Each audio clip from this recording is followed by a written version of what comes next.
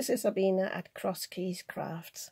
First of all, apologies, I'm still croaky, but I'm not bothered about it anymore. I'm sure it will shift one day. Today's card was, um, well, it was inspired by two things. First of all, I've been um, watching videos by Terry Runyan on YouTube. She's an artist and she creates lovely, lovely images of animals. Partially, she does some sort of decoupage, collaging, um, and but also painting. And the other one, probably because I've seen her videos, came uh, about when I saw this coaster. It's a bit battered, but I bought this years ago. And I was looking at these uh, seals here, and I thought they're actually quite an easy shape to recreate because it doesn't really matter what they look like. So I had the idea to basically copy what Terry Runyan does in her videos with some um, cardstock that I've already prepared because these are some backgrounds from my stash. Um, these are just ordinary ink smooshing. If you've never done that before, you basically have a uh, acetate or I sometimes use some freezer paper uh, and you put some ink down and some water down and then you just dab your paper into this. This one I can actually see it's been swiped a little bit. So I thought today when I looked at these they would be great for the background. And then this is Brushoes, that's a dark grey I think it's called. Um, and it's got a bit of mica in it as well and I thought with the speckled bits that might actually be quite nice to use but I've also got these here that's mica powders and ink. I can't even remember how I created these, but have a look. And again, these are brushes that I played around with, but I'm not sure yet whether I'll be using these because they are quite busy. And all you need to do for this technique is to basically cut the shape out of this paper. So I'm just using my coaster for reference. Sorry if I can't um, give a copyright or a name to the artist who created this. There's nothing on the coaster, but um, i know it's you know one of those you find in touristy places. So all I'm going to do is, as I said, cut shapes out. I'll see if I can get this speckled bit. And what I want to do is I want to cut the um, body here with a tail out of one piece and I will actually have the face like this just a round circle on top. So it doesn't have to be perfect. I'm just checking for the size because I don't want it to be too big. So this is all I'm doing. This is all that Terry Runyan does. Don't think about it too much. If you want to draw it down on the back first you can do that. But I'm just going for it. And I'm just sorry if you can't see that. It's a bit dark this paper on the camera but it's actually quite easy. So I think that'll be nice for the body. So funnily enough, I've just cut past that, so I think I will use that for one of the fins. So I'm just cutting this out like this.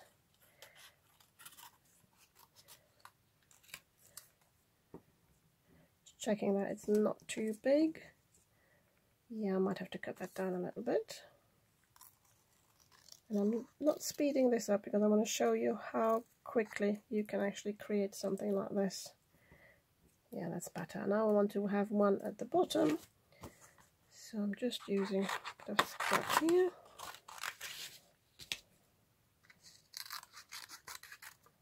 This is actually craft you could even do with children because it is not difficult.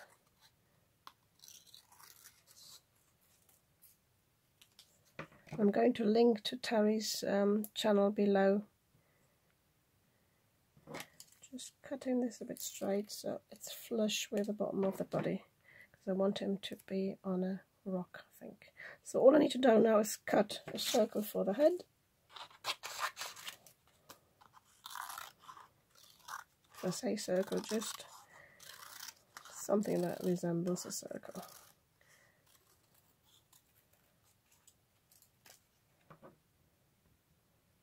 Yeah, I'm happy with that. You could cut that in one shape if you wanted to, but I think I want want it to be like this. So what I'm going to do now is I'm going to glue this down here and I'm not going to show you that and then I'll show you how I proceed from there. So I've stuck him down with the Cosmic Shimmer glue here.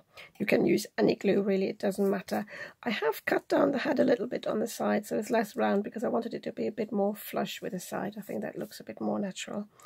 So I have decided to use this um, cardstock anyway for the um, for the bottom to put down some rocks and all I'm doing is just cutting it down a bit like this it's really it's like playing around really that'll do me and I'll have another one coming from the other side just overlapping lightly cutting one down properly like this cardstock gone a bit funny here. Might be my scissors.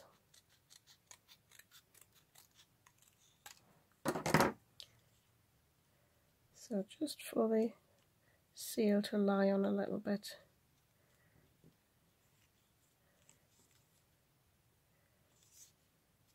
Just cutting this one a wee bit flatter.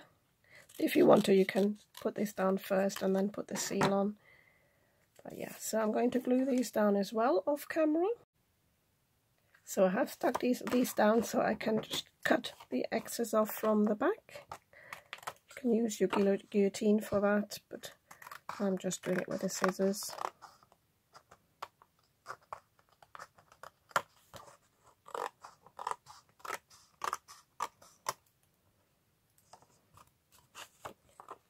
This one's a bit tricky where it was double layers and it is a thick cardstock that I'm using for the rocks.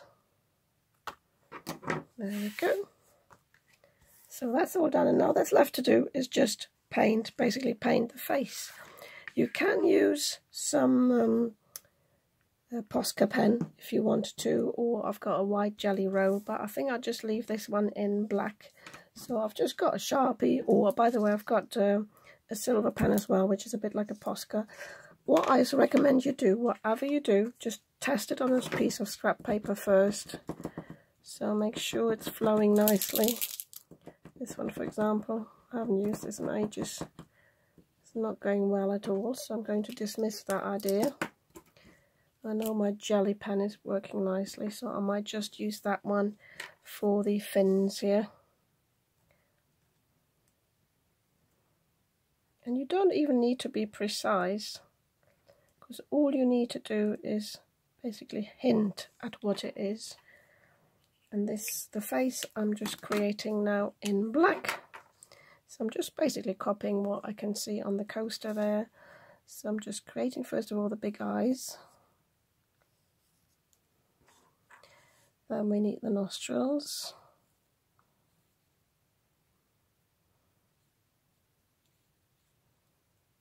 And then the most important thing, the smiley face. And have some whiskers. Problem with them is now obviously I'm going off to the side so you will have a bit of an edge but it doesn't matter.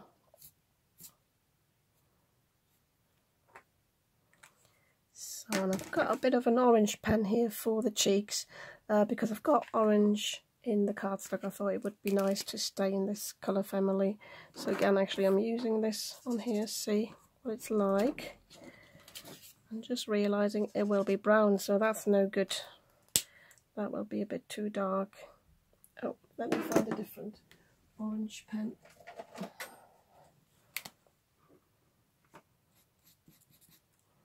Uh, I might dismiss that a bit before I go too dark. Oh this one's fine now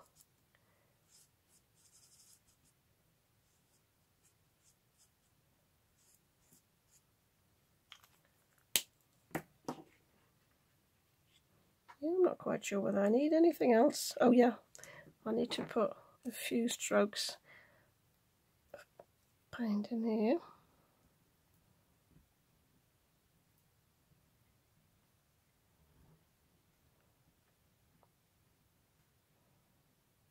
Could do with finding my Posca and reinforcing these.